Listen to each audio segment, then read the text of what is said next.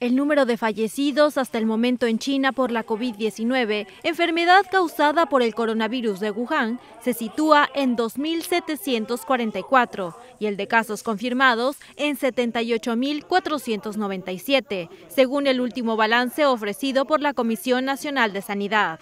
De acuerdo con el reporte actualizado hasta la medianoche del miércoles, fueron 433 nuevos casos confirmados y 29 muertes a lo largo de la jornada del miércoles. La cifra supone un leve avance de menos del 7% en los nuevos contagios registrados con respecto al día anterior, aunque las muertes registradas el miércoles cayeron un 44% en comparación con el martes. La buena noticia es que 32.495 personas han sido dadas de alta tras superar la enfermedad, un 9% más que el martes.